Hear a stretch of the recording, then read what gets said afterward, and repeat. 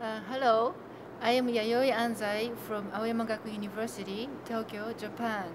Uh, I teach English uh, at the university and I use technology in my class.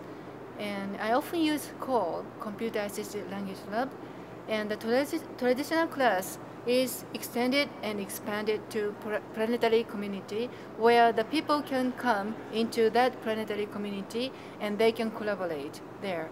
Uh, for example, I use uh, podcasting and uh, wiki in my class.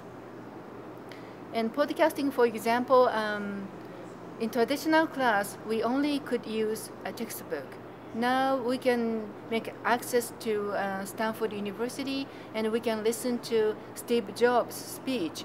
And there, um, for example, Steve Jobs did a splendid speech 2005 at Stanford University and his organization of speech was just great.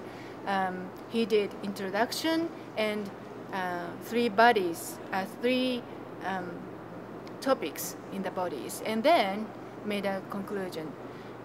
Uh, we and also uh, they post transcript.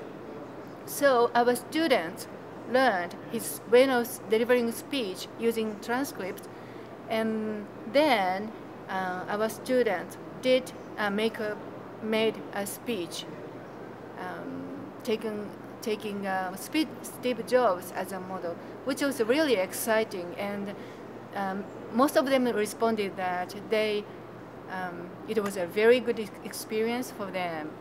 And also uh, in another class for uh, another writing class, I used Wiki and uh, my students came into the Wiki site and they revise and edit each, each papers and which is really exciting. Now the traditional classroom is not limited, uh, closed society, but it's open to the world.